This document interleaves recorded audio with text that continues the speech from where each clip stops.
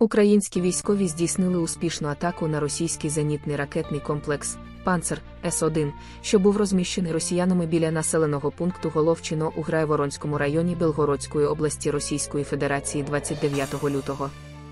Інформацію надала прес-служба Головного управління розвідки Міністерства оборони України.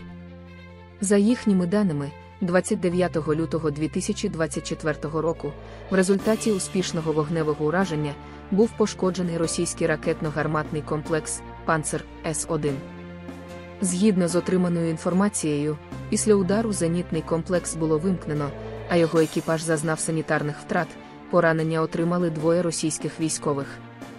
За даними розвідки, Панцер С-1 використовується для захисту військових та військово-промислових об'єктів і має вартість приблизно 15 мільйонів доларів.